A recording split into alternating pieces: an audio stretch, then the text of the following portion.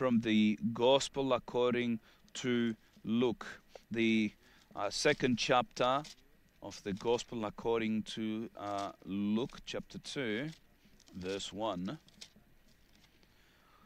the New Testament, the Gospel according to Luke chapter 2 and verse 1. In those days, Caesar Augustus issued a decree that a census should be taken of the entire Roman world. This was the first census that took place while Quirinius was the governor of Syria, and everyone went to his own town to register. So Joseph also went up from the town of Nazareth in Galilee to Judea, to Bethlehem, the town of David, because he belonged to the house and line of David. He went there to register with Mary, who was pledged to be married to him and was expecting a child. While they were there, the time came for the baby to be born, and she gave birth to her firstborn, a son. She wrapped him in cloths and placed him in a manger, because there was no room for them in the inn. And there there were shepherds living out in the fields nearby, keeping watch over the flock at night. An angel of the Lord appeared to them, and the glory of the Lord shone around them, and they were terrified. But the angel said to them, Do not be afraid. I bring you good news of great joy that will be uh, for all the people. Today, in the town of David, a Savior has been born to you. He is Christ the Lord. This will be a sign to you. You find a baby wrapped in cloths and lying in a manger. Suddenly, a great company of the heavenly host appeared with the angel, praising God and saying, Glory to God in the highest, and on earth peace to men, on whom his favor rests. When the angels had left them and gone into heaven, the shepherds said to one another, Let's go to Bethlehem. Let's see this thing that has happened, which the Lord has told us about. So they hurried off and found Mary and Joseph and the baby who was lying in the manger. When they had seen him, they spread the word concerning what had been told them about this child, and all who heard it were amazed at what the shepherds said to them. But Mary treasured up all these things and pondered them in the heart, in her heart. The shepherds returned glorifying and praising God for all the things they had heard and seen, which were just as they had been told. Amen.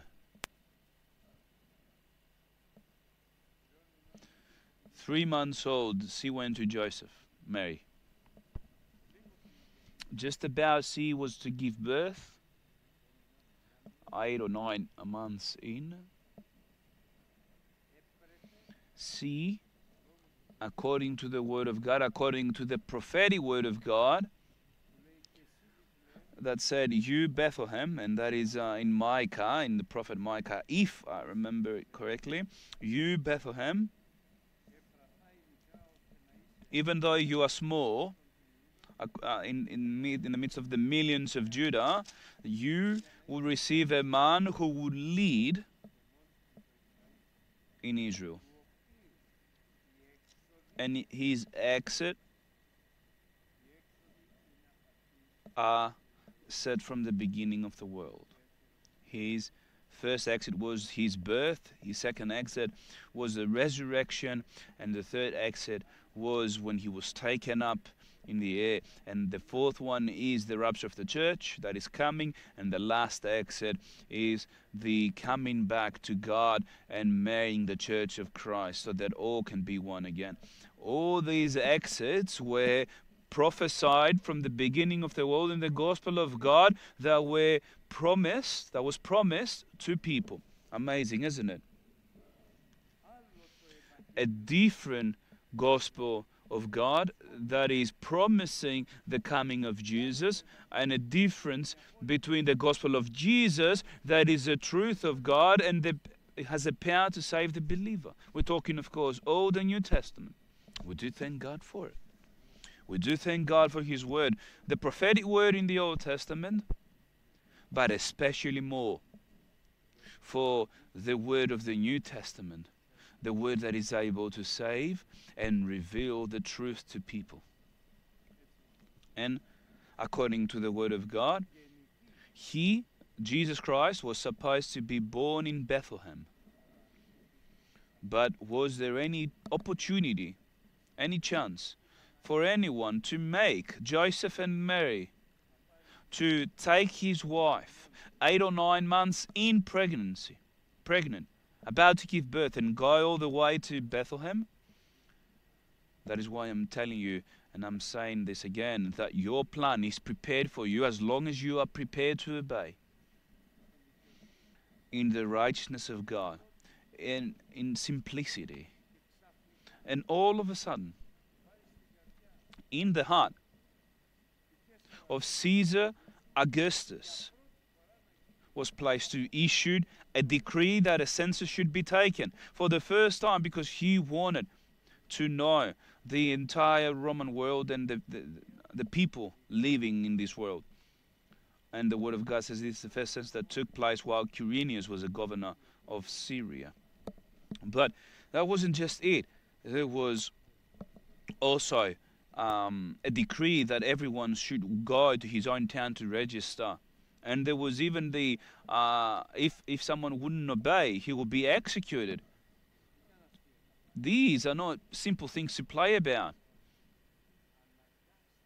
or to meddle with. That is why Joseph had to move all the way to Nazareth, from Nazareth to Bethlehem. It's not if you take down a straight line is it's it's very long and it's up on a mountain.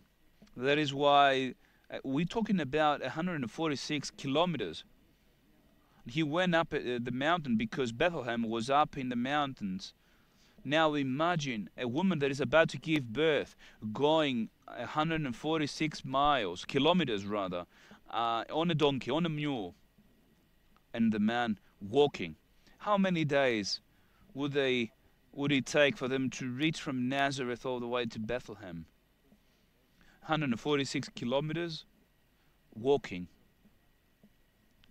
Could they walk 5 kilometers a day? 10 kilometers a day? More than 15 days, I assume. But all things were prepared. The way, the place, the time, and all things were prepared by God for them. And they reached Bethlehem just before the time came for the baby to be born, it says in verse 6. But things are not easy. They will never be easy because through many sorrows we all must enter eternal life. There was no place in the inn for them to stay because Bethlehem was just a village there should be about one or two in. A stable and a manga. I was reading, there weren't like more than 300 or 500 people living in Bethlehem, a very small village. And they say about 300, not even 500 people were living in Bethlehem, a very small, insignificant village, but it was the town of David. Because Jesus Christ was supposed to be born in Bethlehem because he was the son of David. He was from the lineage of David. And because other people came in Bethlehem for all around the nations, there was no place for them to stay. Now imagine 15 days worth of walking towards Bethlehem. And she wasn't able to find a place in the inn. She was placed in the manga, and she gave birth in the manga, and she wrapped that baby in cloth. In cloth but nothing is done by chance. Because she was supposed to place it there and that was this, uh, the, the sign of God. Out in the, the mountains there were shepherds that were tending their flocks at night. And all of a sudden an angel of the Lord appeared to them. All of a sudden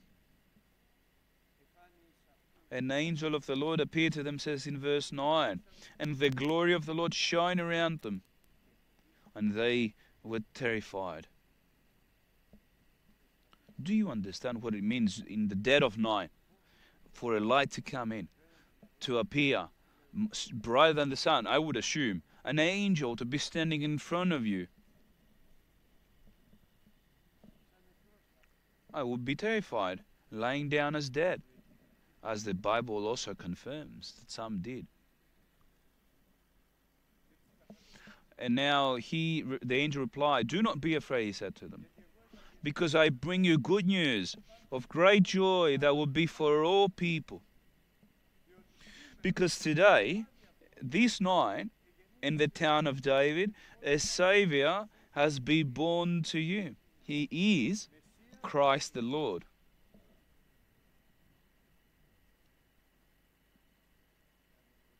And the, these are the first martyrs, these are the first messengers how important is it? How beautiful is it for you to be a messenger of Christ?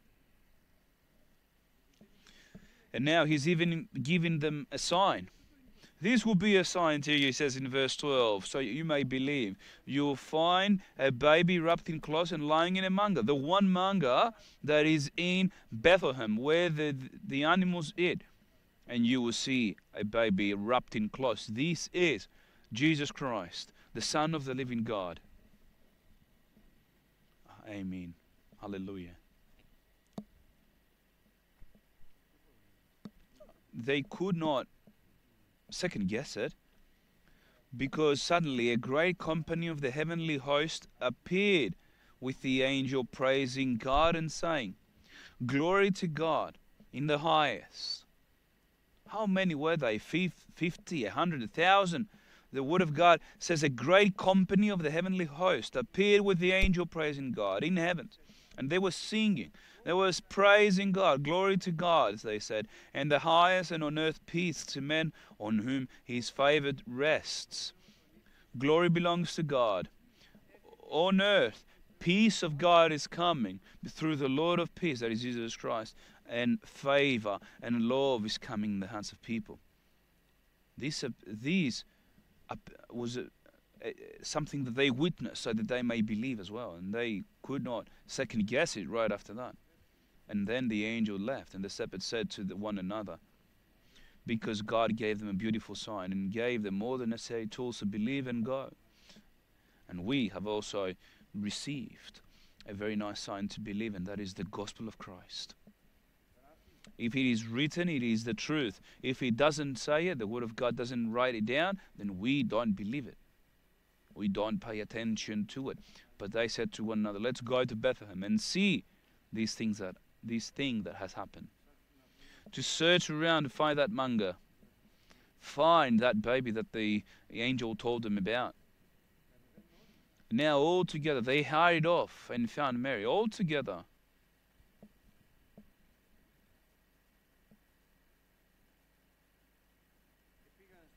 and they went to Bethlehem. They went to the manger. Hurried off, the uh, we see in verse 16 the word of God saying, And they found Mary and Joseph and the baby who was lying in the manger, according to the word of God. And when they had seen him, they spread the word concerning what had been told them about this child and all who heard it were amazed at what the shepherds said to them.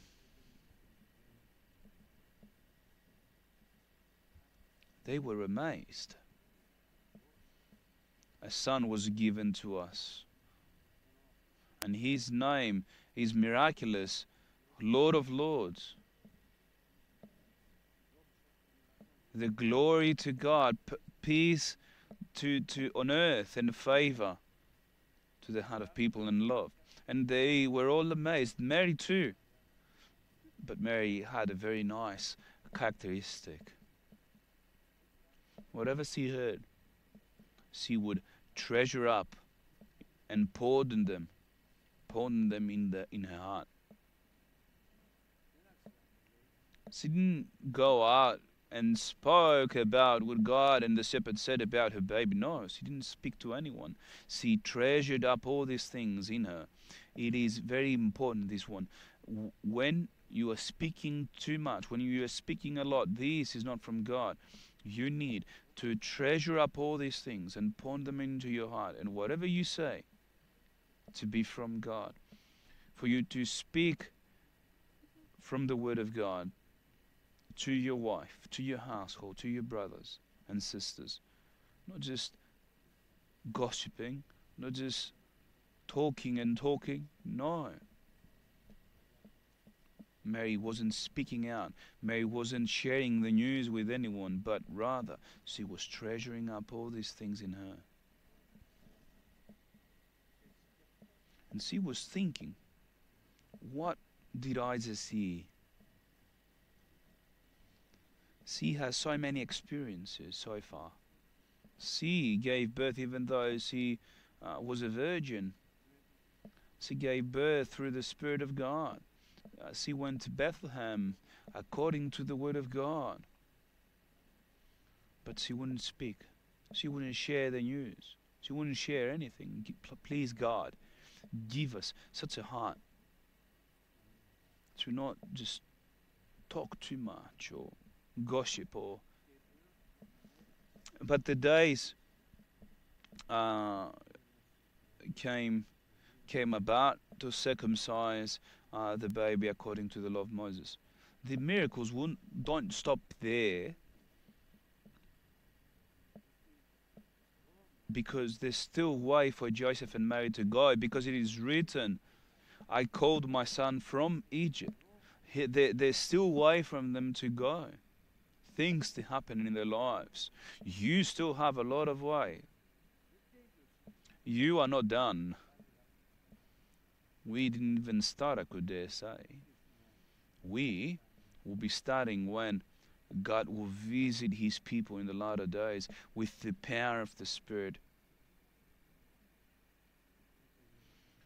With this last rain that he's talking about. When all the nations will stream to the mountain of God and they will say, Please, Lord, teach us the truth. They won't be asking for miracles to believe. They will be asking for the truth that is missing the, from their lives so that we may walk in your paths. We may walk in righteousness. This is the end. Now it's not even the start. We haven't even started yet. And they decided on the uh, to go to Jerusalem, 10 kilometers about Bethlehem from Jerusalem. And they reached Jerusalem to uh, circumcise Jesus, and now a new miracle happening is happening there. There was a priest who was old, called Simeon, who was older in age, a man who was righteous and devout who had one characteristic he was waiting for the consolation of Israel, says in verse 25. Only the one who are expecting and waiting for the appearing of Christ will be saved. He was waiting for the consolation of Israel, even in, in as he was elder now in age, because the Spirit revealed to him that he would not die before he had seen the Lord's Christ. But he didn't grow weary, he was still expecting. And as he was elder in age, the Spirit moved him. At this very instant, at this very day, at this very time, where when Joseph and Mary were in the temple, bringing Jesus to be given to Christ, to be devoted to God, to be devoted to God, as the of Moses said, he was moved to go into the temple courts. What kind of chances are there? our life is going to be full of uh, uh, full of things that were happening not by chance, but by the plan of God, because He is creating all these circumstances around us, so that we may receive power, and so that He may also believe, uh, talk to us, strengthen us, console us. And as he's taking, Simeon is taking the child in his hands.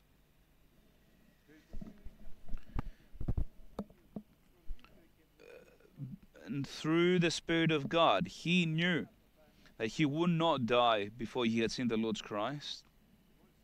When he took Jesus in his arm, he is receiving the message. It's beautiful for you to be able to have an open channel with God so that you may be receiving the messages of God, not your own opinions. He is the one. He received the message. He is the Lord Christ. And I could dare say he was filled with the Spirit of God. He is now saying, Sovereign Lord, as you have promised, you now dismiss your servant in peace, not according to your word, according to your personal promise to me. For my eyes, as in verse 30, have seen your salvation, which you have prepared in the sight of all people. And pay attention to this a revelation from the Spirit. 32, a light for revelation to the Gentiles and for glory to your people Israel. The preaching, the message not for just the Israelites, but the revelation. The gospel is for the Gentiles too, because the Israelites will not accept it. A light for revelation to the Gentiles and for glory to your people Israel. Now, imagine the amazement of Joseph and Mary. And now Joseph and Mary were amazed, marveled, says the uh, the text, at what was said about him from Simeon to the baby. A light for revelation. The, the, the baby that you're holding in your hands, that child that you're holding, and it's yours, Joseph, and you took in, is a light of revelation to the Gentiles and a glory to your people, to the people of Israel. Do you now understand, Mary and Joseph? That Jesus Christ that brought you in His church today, He didn't bring you so that you may still be in darkness. He brought you in His church, and uh, apologies for saying this, but He brought you in so that you may be a light of, for revelation to the ones that are in darkness.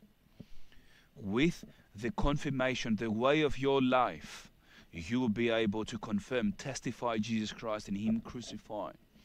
Through you, people will see God because you will be a disciple of Jesus, because there will be the love of God poured down into your heart through the Spirit of God. Your faith will be activated through love and your hope will be a confirmation, a faith that is activated through love and done, given rather by Christ, by God, the child of God, heir of God, and you also, brother, sister, I'm now repeating. You, brother, and sister, you are a light for revelation to the Gentiles. And I'm not saying this because I am thinking that you are greater or less than anyone else. You are the light for revelation to the Gentiles. With the confirmation of your life, you will be able to testify Jesus Christ and Him crucified. And now, Simeon blessed them and said to his mother, the, the mother of the child, this child, says in verse 34, that child, the child that you're holding, I'm holding, is destined to cause the falling and rising of many in Israel, and to be a sign that will be spoken against. A, spo- a sign that will be spoken against, causing the falling and rising of many in Israel. The the master of this world, the enemy, Satan himself, will darken the minds of people so that the light of the gospel may not shine in them. But on the other hand, God the Father is bringing light, enlightening the minds of people. And Jesus Christ is teaching the people, His people, the path that they should take. And the Holy Spirit is advising us about all details in our lives a light of the nations through God the Father and the Son and the Spirit. And on the other hand, darkness of the ones that are unfaithful, that do not believe in Jesus Christ. Amen. To the name of our Lord. But now, speaking to Mary, he says, and a sword will pierce will pierce your own soul too, verse 35, because the thoughts of many hearts will be revealed. You are nothing more than from a mere person. And you will see your own son, your firstborn, being crucified upon the cross. You will hear him say, It is finished. I'm giving up my soul, my spirit to you, Father. And you will not depart from him. Still, from Nazareth, you will not depart from me. You will go to Jerusalem. And the Lord will turn to you and say, Woman, he is now your son. Speaking about John, the beloved disciple of uh, Christ. And you will speak to John and say, Now, my servant John, this is now your mother. And from that moment on, John received the mother of Christ in Jerusalem. Not in Nazareth anymore, but in Jerusalem. Why? Because Jesus said, said to them that you still need to remain in uh, Jerusalem. And you still need to wait for the Spirit of God to come down upon you. Not after many days, after he was resurrected and taken. And Mary was there with John in the Pentecost, waiting for the time of the Spirit of God to come down. And as he received the Spirit too, she moved along uh, the gospel and uh, the way of Christ. But that's not enough. Uh, how can she strengthen the ones that are lacking faith now? The ones that are weary now? A tragical situation of Joseph and Mary now we are going back to uh, Simeon uh, and the and uh, Jesus Christ being devoted, and that's not enough. All these things we said before, we are also seeing Anna, a prophetess, the daughter of Phanuel of the tribe of Asher, and she was very old. She had lived with her husband seven years after her marriage, just seven years and then was a widow until she was 84. And the characteristic of Anna the prophetess, Lord, she never left the temple. Do you hear this, sisters?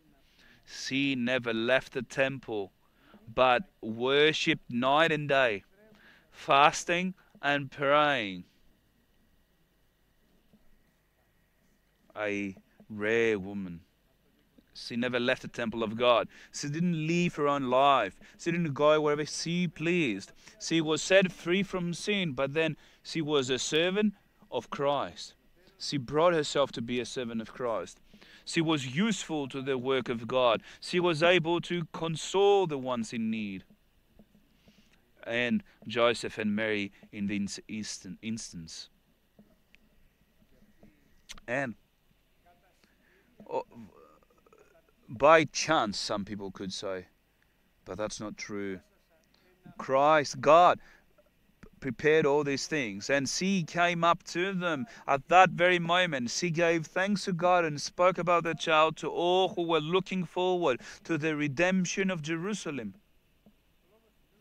The Word of God is not speaking to all peoples. See, the Word of God is speaking to the ones who are looking forward to the redemption and the appearing of our Lord Jesus Christ. The Word of Christ is speaking to these people and looking forward to it, expecting. It doesn't mean I'm just coming to the church. I'm living. It means I'm living from Christ every single day. Just as God sent me, says Jesus, and I'm living for the Father, in the same manner I'm sending you, so that you may live for me. Who are you living for? What is the work of your life? What is your mission? Why are you brought in this earth, on this earth? What is your work? What is your path?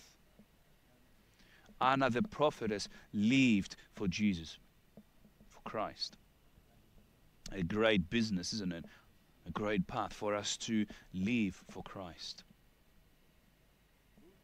A servant of Christ, free from sin, but now becoming a servant of, of God. Then and only then our reward will be in righteousness and our end eternal life. Then and only then. As you are set free from sin and you are enslaved, bring yourself down to be a servant of Christ. And as they finished all these things, and Joseph and Mary had done everything required by the law of the Lord, they returned to Galilee to their own town of Nazareth. And the child grew and became strong. He was filled with wisdom, and the grace of God was upon him. That coming back was not simple. That return was not simple. There in Bethlehem, three wise men with gifts still came as we see in another gospel. And it was revealed to them that a king of Israel was born. The king of Israel was born at uh, Bethlehem, and they came to pay their respect. And Herod, who was wicked, in Jerusalem, and the, whole of Jerusalem were amazed and were terrified. And he is now asking the wise men, You're going to Bethlehem. I I need to also pay my respects to the king. And they saw the star. They, the wise men were led by the star that actually led them straight to the manger. And they gave them they gave them gifts. They had no money. They needed to have money to go to Egypt and they needed to go to Egypt because Herod had taken the decision to kill all the babies uh, in Bethlehem, fearing he may lose his throne. And as they left, these three uh, wise men, we don't know if there were three or more, but they left. An angel comes again and says to Joseph, Now you need to depart quickly and you need to go to Egypt because Herod wants to kill your child. And this is the characteristic of Joseph once more immediate obedience to the word of God. He believed and immediately acted upon the word of God, not according to your own opinion. Or th- I'm thinking that this is the best for me to do. No, this is what the word of God, this is what the angel of the Lord told me, this is what I'm going to do. He took his wife and went to Egypt straight away. Herod understanding understood that the uh, wise men fooled him because they never returned because it was revealed by the angel to them to not go back to Herod and send uh, soldiers to kill Be- all the children uh, in Bethlehem and the uh, surrounding villages uh, two years uh, and lower and below. But Jesus was not there. The enemy cannot touch him.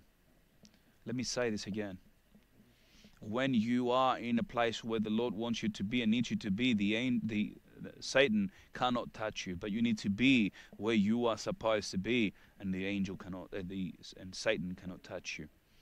And they stay there uh, in Egypt for a while. They had the gift from the wise men, and they were able to survive and live there.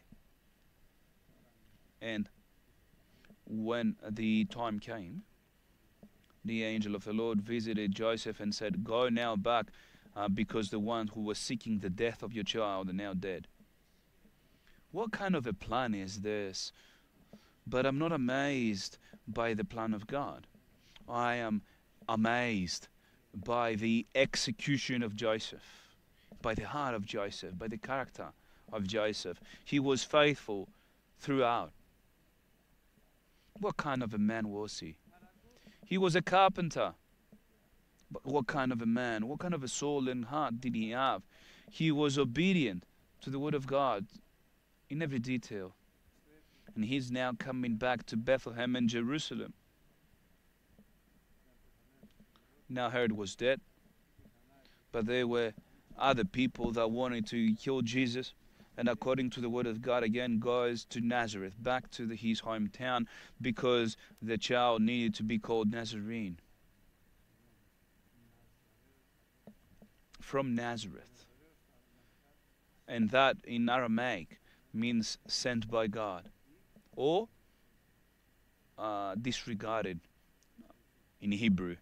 That is why the Israelites, the the faith, the the uh, faithful, the disciples of uh, of Christ, they were called Nazarenes. And in Antioch, in the city of the nations, they were first called the disciples of Christ. They were called Christians amongst the nations, because amongst the Israelites they were disregarded, and we are now called Christians. Are we not Pentecosts? No. I played with you. We are not Pentecosts. We are not Orthodoxes. We're not, we're not Catholics. We are the disciples of Christ. I'm into the name of Christ. We are the disciples of Christ. We have a teacher and a master, and his name is Jesus Christ. And we have the Spirit of God that is advising us, that is moving us, leading us. Of course, the nations have to give a name to our church, a free apostolic church of, of Pentecost, but we are not Pentecostals. We are the disciples of Jesus Christ, of our Lord. Amen. To the name of God.